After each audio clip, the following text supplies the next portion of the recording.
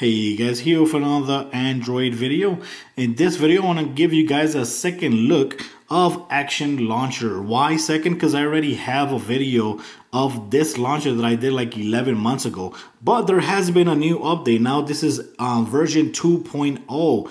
And one of the biggest changes here is that now it has this over here. It has a quick page, they're calling it uh, which is very cool. Here you can put um, um, widgets. Like you see, I got three widgets. This right here is my recent apps, and this right here is my Google Now uh, widget right there. takes me right there, and here it could go to my DoggCatcher podcast app, or I could go ahead and play it.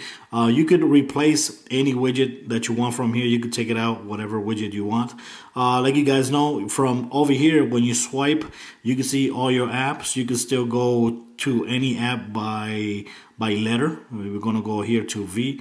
You're gonna see all your V's over here, and here you got your widgets.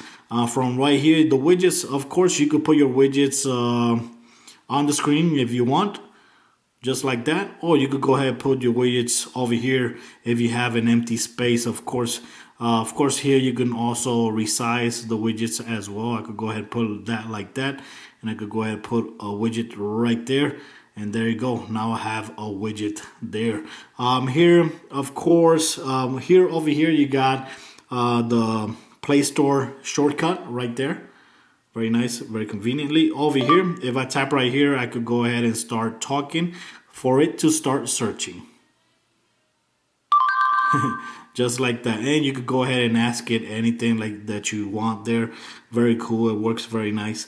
Uh, but this right here you could go ahead and change it because um, for example right here let's go to shortcuts.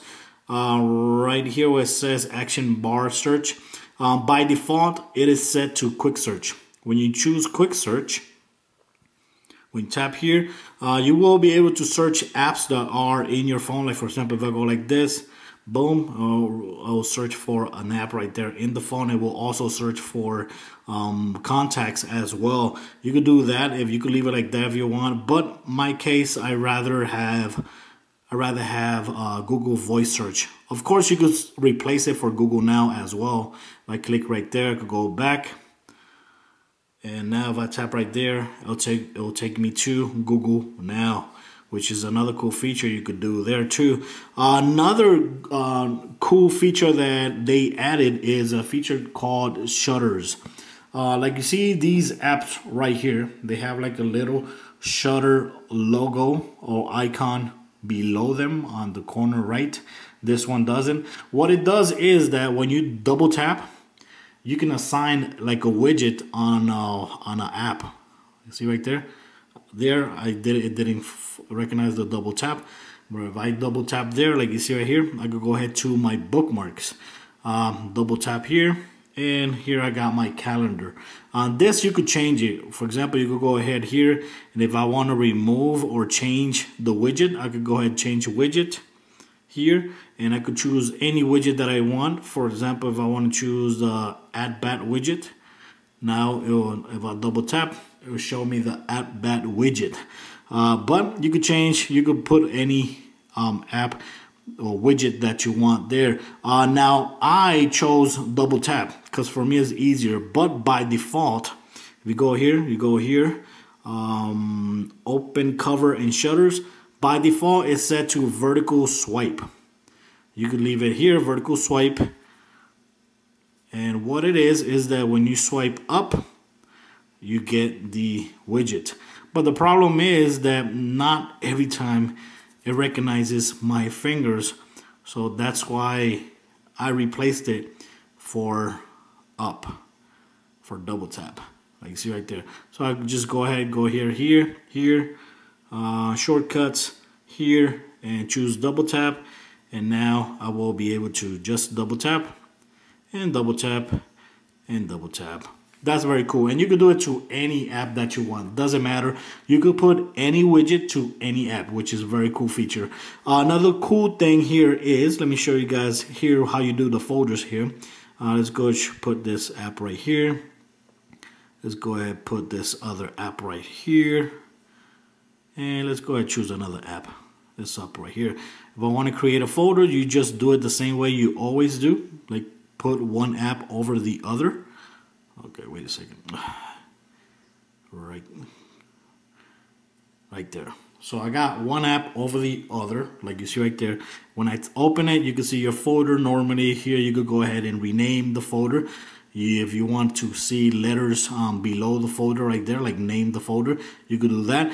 But one feature that they added is make cover. When you click make cover, what that's gonna do is make a cover of the folder. And like you see right there in this image, there's a little square. That little square means that this is a cover of a folder. So if I double tap, it will show you the folder. If I just tap, it will open the app that's in the cover. Now that's another cool feature that has been added. But of course, if you want to change, let's go back.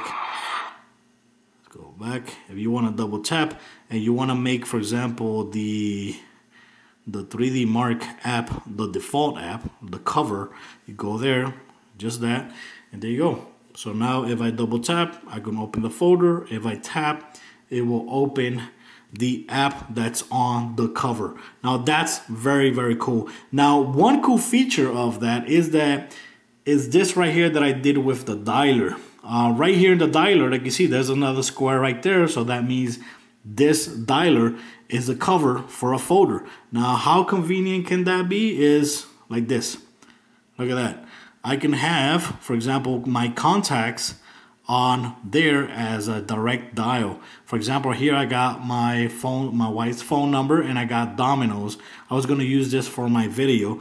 Let's go and check it out. And like you see, if I tap right here, I can see the video, the my contacts. If I just tap once, it would just open the dialer.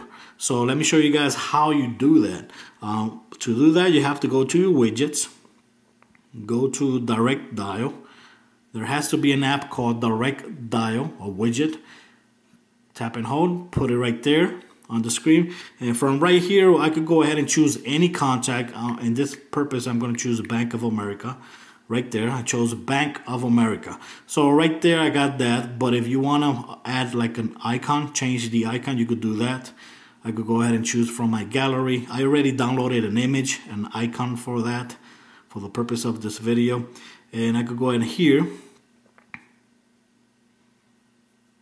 and choose this Bank of America icon. Let's go ahead and crop it right there. And choose done. So now I have a direct dial with the icon of Bank of America. If I tap it there it will automatically start dialing so that's a very, very cool feature from Direct Dial. I'll go ahead here. And now all you got to do is put it there just like it was a folder. Now when you double tap, there you go. You got your your most frequent um, contacts. You could put your favorite contact, your most frequent contacts, or your wife's contacts, or your family contacts. Any contact you want, you could put it right there. And basically that's it. That's the only big difference here. This wallpaper is from another launcher that I had. I can't remember what is it. Um, you can go ahead and remove any folder that you create. Um, this right here, if you want, don't want to have that visible right here, the shortcuts. Uh, some people just want to have this only visible for. Go ahead, take that right here and action bar. Right now I have it to clear. You can go ahead and choose none. If you choose none, it will just not show you the shortcut here and it will not show you the search right there either.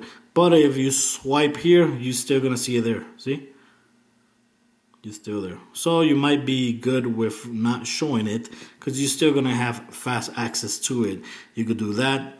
Uh, another thing here you could do is um, by default when you uh, when you install this you're gonna have only four icons here. Right now I have five all you gotta do to add more, you could tap right here, tap to display, go all the way here where it says dock. Right here, by by default, it says four. Um, here, you I got a five, but if you want, you could go to six. If you have a tablet, you could go up to 12. That's crazy. Um, here, I'm gonna go ahead and put six so you guys can see. Uh, you can also disable the dock. If you don't want to have a dock, you can also disable it. Uh, you could add more pages. Right now, I only have two pages because that's what I like. And you can make whatever page you want as your default page.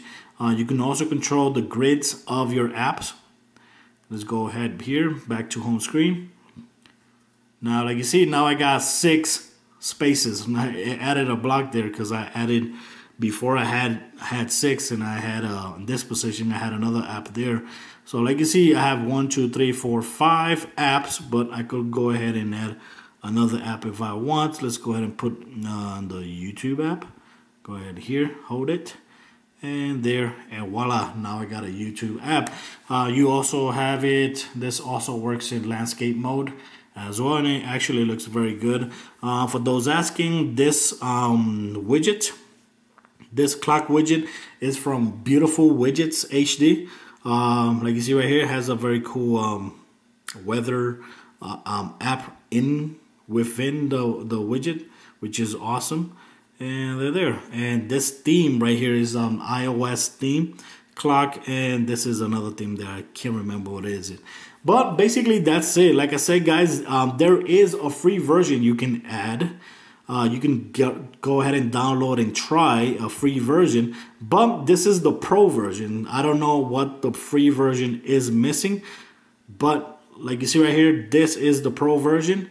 And I think the pro version is $3.99. I got it on sale for $1.99 when they did the full upgrade to version 2.0. So I got on board on that. I'd say it's a lot better now. It looks a lot better. The the launcher and that's the great thing about android that's the great thing i love i love trying different launchers on my android phone and so far this one actually feels very very nice i like how this thing feels go take this out let's go ahead and put this a lot bigger i, li I like having this like that because easily i could just go ahead and swipe to any app that i want go like that I'll tap right there. Is this opening? What? What? Nope.